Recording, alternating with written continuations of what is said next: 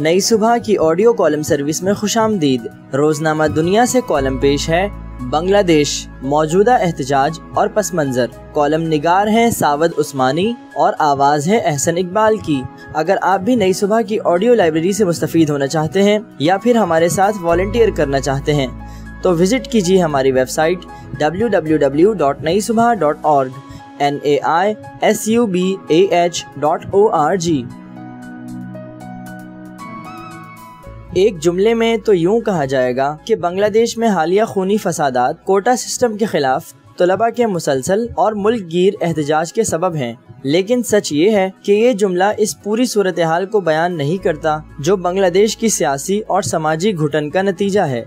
आज जो कुछ हो रहा है, इसके इसबाब के लिए बड़ा मंजरनामा देखना लाजमी है। लेकिन पहले मौजूदा सूरत हाल पर एक नज़र डाल लें। जब ये तहरीर लिखी जा रही है, लगभग 105 हलाकतों के बाद और एहतजाज को मुसलसल कई तरफ़ से दबाने के बावजूद, हसीना वाजिद हुकूमत ने पूरे मुल्क में कर्फ्यू नाफिज कर दिया है और बहुत सी जगहों पर फौज बुला ली गई है। कर्फ्यू और फौज बुलाने की फौरी वजह वस्ती बांग्लादेश में नरसनकदी जेल पर होने वाला हमला है, जिसमें सैकड़ों कैदी रिहा करवा लिए गए। हुकूमत मुखालिफ हलकों में हलाकतों की तादाद कहीं ज़्यादा बताई जा रही है। सब रबते बहाल होने के बाद ही दुरुस्त तादाद का अंदाज़ा हो सकेगा। इस वक्त मोबाइल टेलीफोन लाइन्स और इंटरनेट बंद हैं। चुनाचे दुरुस्त खबरें भी नहीं मिल रही और ऐसे में अफवाहों का ज़ोर पकड़ना भी फितरी है। बसें और रेलगाड़ियाँ भी बंद हैं। पूरे मुल्क में यूनिवर्सिटियाँ कॉलेजेस और तालीमी इदारे भी बंद कर दिए गए हैं। सरकारी टीवी पर मुजाहरीन ने कब्जा कर लिया था और आग लगा दी थी। जुम्मे की सुबह ये खाली तो करवा लिया गया, लेकिन नशरियात ताहाल बहाल नहीं हुई। मामला ढाका तक महदूद नहीं रहा, बल्कि बाईस अजला में एहतजाजी मुजाहरे हो रहे हैं। अंदाज़ा होता है कि ये एक गैर मामूली सूरत हाल है। लिहाजा ये कहना गलत होगा कि ये सिर्फ़ कोटा सिस्टम के खिलाफ एहतजाज है। एहतजाज का एक संगीन जाविया हुकूमत मुखालिफ और हुकूमत हामी तंजीमों में मुसल्ला तसादुम है। तालीमी इदारों में हसीना वाजिद की अवामी लीग की शाख Bangladesh Chhatra League B C L कायम है। कोटा सिस्टम पर तलबा का एहतजाज शुरू होने पर एल हुकूमत की हिमायत में मैदान में उतरी और तलबा तंजीमों के इस खून रेज तसादुम में बहुत सी हलाकतें हुई। ज़्यादातर इल्ज़ाम एल पर है और हुकूमत मुखालिफ ये दावा करते हैं कि पुलिस इनके साथ हलाकतों में शरीक है। अगरचे मौजूदा लहर कोटा सिस्टम के खिलाफ उठी है, मगर दर हकीकत इसके पीछे बहुत से अवामिल हैं। इस वक्त सरकारी मुलाजमतों में छप्पन फ़ीसद खसूसी कोटा कई कैटेगरीज के लिए मखसूस है, जबकि ओपन मेरिट सिर्फ़ चवालीस फ़ीसद रह जाता है। इस छप्पन फ़ीसद में भी तीस फ़ीसद कोटा उन लोगों की औलाद दर औलाद के लिए है, जो उन्नीस सौ इकहत्तर की बांग्लादेश जंग में शामिल थे और जिन्हें मुक्ति जोधा के नाम से जाना जाता है। ये तासुर आम है कि उंगली कटाकर शहीदों में शामिल होने वालों की एक लंबी फहरिस्त मुक्ति जोधा में शामिल है। हुकूमत मुखालिफिन का कहना है कि ये दरअसल हुकूमत के हामियों को अहम जगहों पर मुतन करने और उन्हें नवाजने का एक तरीका है और सियासी मुखालिफिन के लिए जगह तंग करने की कोशिश। 2018 में इसके खिलाफ तहरीक उठी और तलबा ने मुतालबा किया कि माजूरों खातन और मखसूस अकलीतों के सिवा तमाम कोटा खत्म कर दिया जाए। हसीना वाजिद ने शुरू में इस मुतालबे की मुखालफत की,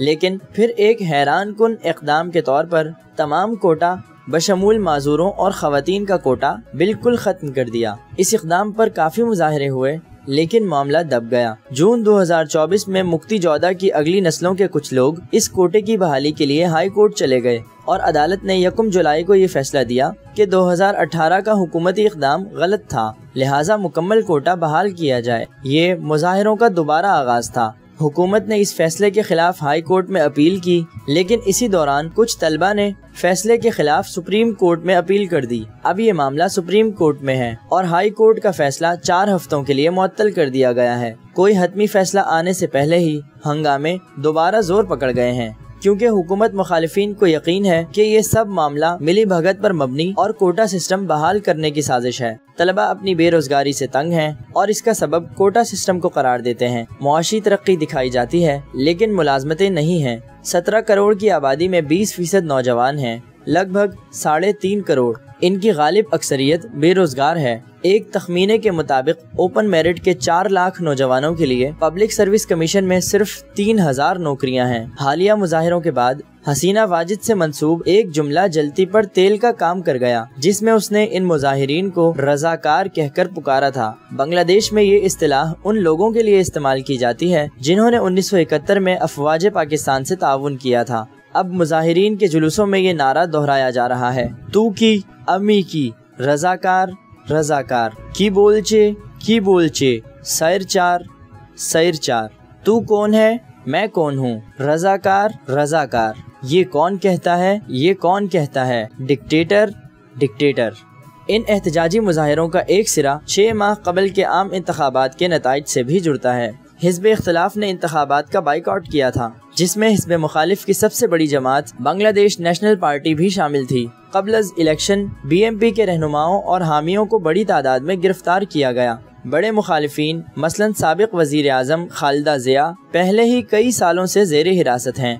इंतबात में सरकारी आदाद शुमार के मुताबिक 40 फ़ीसद वोट पड़े, जबकि इससे कबल 2018 में वोटिंग की शरह 80 फ़ीसद थी। आज़ाद जराये के मुताबिक ये 40 फ़ीसद के आदाद शुमार भी मुबालगे पर मबनी हैं। बहरहाल, हसीना वाजिद दोबारा इकतदार में आ तो गई, लेकिन उस वक्त से एक बेचैन और मुस्तरब सियासी तख्त पर बैठी हुई हैं। इलेक्शन में अपोजिशन जमातों को जिस तरह बाँध कर एक तरफा नतज हासिल किए गए, इसकी घुटन पूरे माशरे में मौजूद है।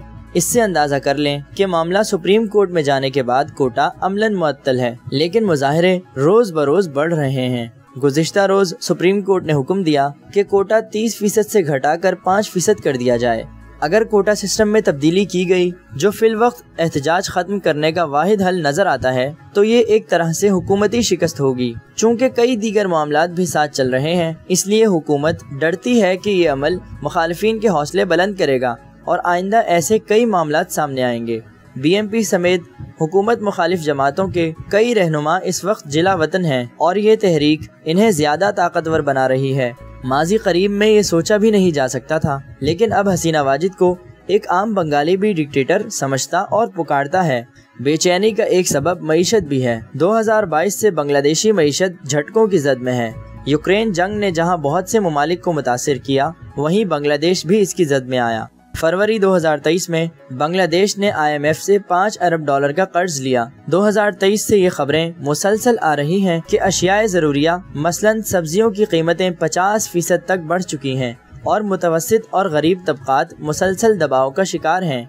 इस वक्त महँगाई और बेरोजगारी की शरह उरूज पर है और चार बार मुसलसल हुकूमत में रहने के बाद लोग हसीना वाजिद को इन तमाम मसाइल का जिम्मेदार समझते हैं। हसीना वाजिद 2009 से मुसलसल वज़ीर आज़म चली आ रही हैं। मुमकिन है कि कोटा सिस्टम में तब्दीली करके वो इस मसले पर काबू पा लें, लेकिन जैसे अर्ज़ किया कि मामला सिर्फ़ कोटा सिस्टम का नहीं, हुकूमत के लिए अपनी मायाद भी पूरी करना एक चैलेंज होगा। वसी पैमाने पर फैली नापसंदीदगी के बाद ये काम काफ़ी मुश्किल है। हालिया एहतजाज अपना रुख बदल भी सकता है। क्या सतहत्तर साल हसीना वाजिद इस बहरान पर काबू पा सकेगी?